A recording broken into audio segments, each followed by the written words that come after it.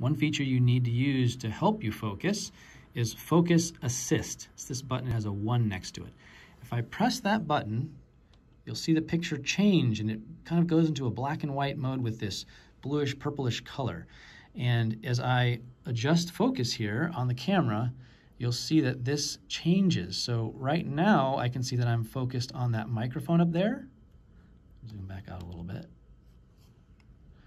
And if I continue to pull my focus, I'm on the chair, that's a chair, and if I continue to pull, I'm gonna get uh, further off toward the wall. There it is. So you can see how that shifts as I move my focus. It's telling me exactly where I'm focused. Now, if I don't have that on,